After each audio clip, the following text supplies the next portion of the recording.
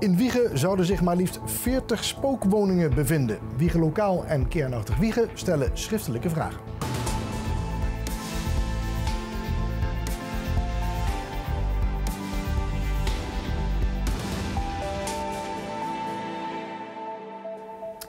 Maar we beginnen uiteraard met de eerste sneeuwvlokken van 2024. Veel inwoners van de regio werden vanochtend verrast door de sneeuwval die gaande was. Een mooi gezicht, maar het veroorzaakte ook veel ongemak tijdens de ochtendspits. Vooral door gladheid die het veroorzaakte. Er was vanochtend sprake van een drukke ochtendspits door de winterse neerslag. Volgens de ANWB stond er meer dan 1100 kilometer file in het hele land, ruim twee keer zoveel als normaal. Rijkswaterstaat heeft afgelopen nacht 577 strooiwagens ingezet om de gladheid te bestrijden. Er is ruim 4,6 miljoen kilo zout gestrooid tegen de gladheid. Grote incidenten bleven uit, wel zijn er veel meer kleine ongelukken gebeurd. Zoals kleine aanrijdingen of auto's die tegen een boom of een lantaarnpaal zijn gegleden. Ook hebben we de DAR gevraagd naar hun ervaringen van deze ochtend. Zij reageren als volgt. We zijn uh, gisteren, uh, of ja, vannacht om uh, half twee gestart met de eerste strooiactie. Toen duidelijk werd dat er toch wel sneeuwopkomst was. Ehm, nou, die hebben we vanmorgen om zeven uur hadden we alle routes net mooi voor de spits gestrooid. Um, ja, tijdens de spits kunnen wij niet zo heel veel, dus ja, toen begon het net te sneeuwen. En toen de meeste sneeuwval eigenlijk is, was gevallen, um, hebben wij alle borstels aan de tractoren gehangen en zijn we de, de fietspaden gaan schoonvegen met de borstels en, en hebben we opnieuw gestrooid. We zijn eigenlijk al vanaf twee uur vannacht in touw. Nou, de hoeveelheid was redelijk onverwacht. Ja, we hadden wel wat uh, uh, neerslag verwacht. En daarom waren we ook wel voorbereid om vanochtend nog voor de spits een strooibeurt of een strooiroute uit te voeren. Maar de hevigheid van de sneeuwval, zeg maar, vanaf de ochtendspits tot ja, pak een beetje 11 uur, half 12 was toch meer dan wij verwacht hadden. Ja. Ja, hoeveel kilo zout wordt er gestrooid op zo'n dag als vandaag? Ja, dat is altijd moeilijk zeggen. Kijk, één ronde die, die is al gauw tegen de duizend kilo zout aan. ja, moet je vaker rond, dan, ja, dan verdubbelt zich dat dus. Ja, het altijd heel lastig zeggen hoeveel zout, want bij vochtig weer heb je meer zout nodig dan bij droog weer ja, ik kan nu nog niet zeggen hoeveel zout we vandaag gebruikt hebben. Weggebruikers moeten ook rekening houden met een zeer zware avondspits. De neerslag op de wegen kan bevriezen en daarom geldt er vandaag in het hele land code geel. In Gelderland blijft deze waarschuwing tot dinsdag middernacht van kracht. Dinsdag, woensdag en donderdag is er ook nog kans op sneeuw. En dan spookwoningen. Dat zijn woningen waar de energiemeter doorloopt terwijl er niemand op het adres staat ingeschreven. Vaak gaat het om panden waar bijvoorbeeld een wietplantage, een drugslab of illegale bordelen zijn. Uit onderzoek van RTL Nieuws blijkt dat er in de gemeente Wiegen maar liefst 40 van deze spookwoningen zijn. Reden voor de fracties van Wiegen Lokaal en Kernachtig Wiegen om schriftelijke vragen te stellen. Nou ja, we hebben het onderzoek opgepikt. Um, en uh, wij, ja, wij, zien het, wij zien het belang voor de woningmarkt zien wij in. En tegelijkertijd denken we dat die criminaliteit een stuk minder kan. En willen we ook weten hoe groot is dit probleem nou in Wiegen. In andere gemeentes is er natuurlijk een probleem en dat is al bevestigd. Maar wij willen dus ook weten hoe groot of wat speelt er nou hier in Wiegen. Het zijn er 40 en dat, is, uh, dat weten wij omdat er een landelijk onderzoek is gedaan door RTL Nieuws. En die hebben die cijfers gepubliceerd bij hun op de website. Deze spookwoningen hebben ook invloed op de woningmarkt. Uh, ja, dat vind ik van wel. Uh, alle kleine beetjes helpen natuurlijk. 40 woningen die kunnen natuurlijk ook naar mensen gaan die op dit moment thuis wonen of een woning zoeken. Dus vandaar vind ik het heel belangrijk dat die 40 woningen ook beschikbaar komen voor, uh, voor mensen die naar een woning op zoek zijn. Wiegen Lokaal vindt dat de gemeente hier meer aan moet doen. De gemeente moet in ieder geval controleren uh, of dat er zulke hoge energierekeningen zijn uh, en waar dat door komt. En we moeten hier scherp op zijn dat de gemeente uh, de samenwerking met de andere partijen die hier betrokken bij zijn goed, goed scherp op scherp zet. zodat we dit probleem kunnen oplossen. Maar spookwoningen weren, is dat wel mogelijk? Het is echt een hele lastige vraag. Kunnen we iets aan spookwoningen doen? Ik denk het wel. Uh, maar ik denk wel dat het een heel moeilijk uh, probleem is. En uh, dat we daar dus op de juiste manier mee om moeten gaan. En de eerste stap ligt bij het college. En wij moeten natuurlijk op toezien dat dit goed gebeurt. En dat het er over de tijd natuurlijk een stuk minder worden. Dat is eigenlijk ons, ons, ons doel. En het hoofddoel is natuurlijk zorgen dat al die woningen beschikbaar komen voor mensen die woningzoekend zijn. De politie plaatste maandagmiddag een bericht op Burgernet met een waarschuwing voor de inwoners van de gemeente Wiegen. Verschillende mensen zouden vandaag namelijk zijn gebeld door personen die zich voordoen als de politie. Er wordt een verhaal afgestoken over inbraak in de omgeving en de personen willen vervolgens langskomen om de veiligheid in de woning te controleren.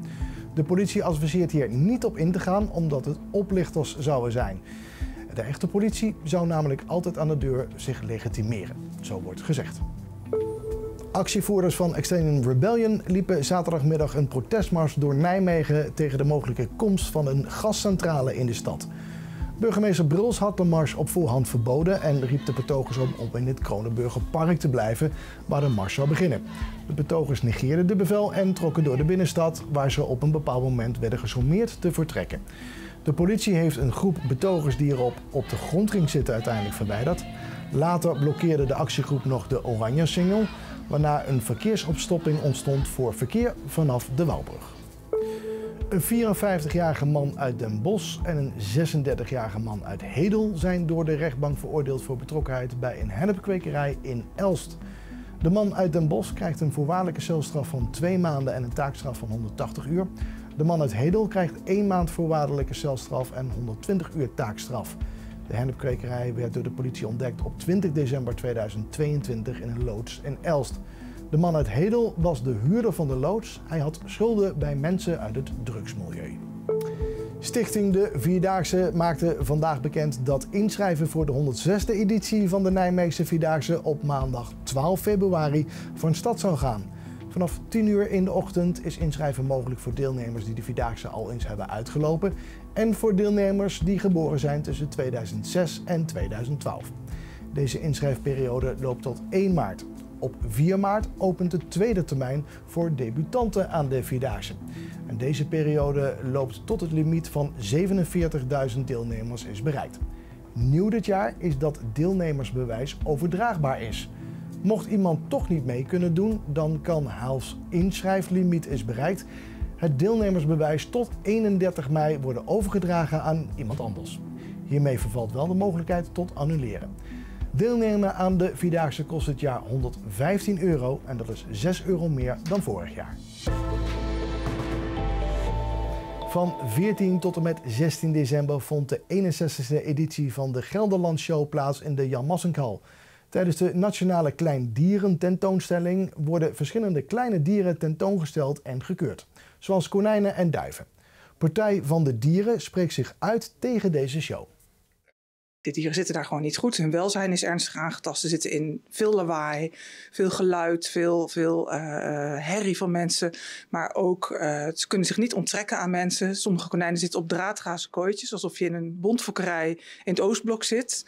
Een aantal dieren hebben wij ook gezien die langere tijd geen water kregen. Dus er wordt gezegd dat er wel vrijwilligers rondlopen die water geven. Maar als je bakje helemaal droog is, dan heb je toch echt al lange tijd geen water gehad. Om het dierenwelzijn te verbeteren worden grotere kooien genoemd als oplossing.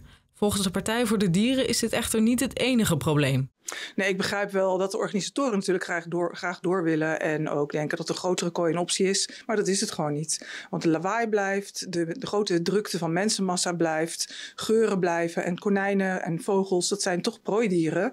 En mensen worden door hen gezien als, als jagers, als, als roofdieren. En daar voelen ze zich niet lekker bij. Je ziet ook dat dieren proberen te ontsnappen door met hun kopje door de tralies proberen te komen. Maar ook doordat ze helemaal apathisch in een hoekje wegkruipen. En je ziet aan alles dat ze gewoon niet lekker in hun vel zitten daar. En dan kunnen fokkers zeggen, ja dat zijn ze gewend, dat doen wij altijd. Maar dat is door de ogen van de fokkers. Door de ogen van dier zie ik iets anders. Er zijn veel grotere eh, problemen met dierenwelzijn. Denk aan slachthuizen, denk aan de bio-industrie. En ja, er zijn natuurlijk ook grote mensenproblemen en klimaatverandering, al dat soort zaken. Maar het begint bij kleine dingen. Op het moment dat je kleine dingen niet goed doet, gaan de grote dingen ook niet goed. Je moet zorg hebben voor andere levende wezens. Partij voor de Dieren vindt dat de dierenshow een verkeerd signaal afgeeft. Vooral aan jonge kinderen. Op het moment dat kinderen zien dat ze daar in een klein kooitje zitten en ze te horen krijgen van nou, die worden goed verzorgd en er wordt goed aandacht aan ze besteed, ze krijgen goed eten, dan leren ze eigenlijk dat in een klein kooitje zetten van dieren, dat dat goed is. Wij willen niet dat kinderen leren dat je zo met dieren moet omgaan. Dieren horen met, met respect behandeld te worden en dus niet in zo'n klein kooitje gezet te worden op zo'n show. De Gelderland Show laat weten hier niet op te willen reageren. Van 14 tot en met 16 december vond de 61e editie van de Gelderland Show plaats in de Jan Massenkhal. Tijdens de Nationale Klein Dieren tentoonstelling worden verschillende kleine dieren tentoongesteld en gekeurd, zoals konijnen en duiven. Partij van de Dieren spreekt zich uit tegen deze show. Ja, tuurlijk. Uh, een van de beste tegenstanders uh, van de competitie. We, hebben, we spelen ook nog eens uit en ja, dan moeten we gewoon deze punt koesteren. Ja, van het eerste half uur hadden jullie het echt heel moeilijk vandaag. Ja, we waren er nog niet echt klaar voor. We kwamen overal te laat. We kregen niet echt druk op de bal. Waardoor we ja, overal ertussen kwamen en hun uh, ja, overal tussen doorheen speelden eigenlijk. Dus uh, ja, het eerste half uur hadden we, hadden we veel moeite, ja. Hoe was het voor jou vandaag uh, terug in de Kuip? Was het leuk? Ja, zeker. Ik vind het altijd leuk om hier te spelen. het zijn altijd leuke wedstrijden. NEC, Feyenoord NEC, dus ja, voor mij was het ook wel weer een, een leuke wedstrijd. En dan het weer. Geen Blue Monday, maar een behoorlijke witte maandag was het vandaag. Ook vanavond en vannacht kunnen er nog wat sneeuwbuien vallen. En daarbij wordt er ook weer gewaarschuwd voor gladde wegen. Morgen overdag zal er weinig tot geen neerslag vallen in onze regio. De zon zal regelmatig schijnen. En het kwik loopt daarbij op tot ongeveer 2 graden in de plus. Dus de laatste restjes sneeuw raken we dan ook even kwijt. Maar niet voor lang. Woensdag belooft er weer een nieuwe lading sneeuw aan te komen voor onze omgeving. Na 3 graden nachtvorst komt de temperatuur woensdag overdag niet of nauwelijks in de positieve cijfers. Daarbij verloopt de dag grijs met van tijd tot tijd ook een sneeuwbui. Hierdoor zal er ongeveer 3 à 4 centimeter sneeuw vallen. De dagen erna is het met de meeste neerslag wel gedaan en met een graad of 4 overdag zal de meeste sneeuw ook weer snel verdwenen zijn. En tot zover het RN7 Regio Nieuws van maandag 15 januari. Nu op RN7 zie je een nieuwe aflevering van Wat zegt het volk over Blue Monday. Houd het laatste nieuws in de gaten via onze website rn7.nl en dan zijn wij morgen weer bij je terug. Dus graag tot dan.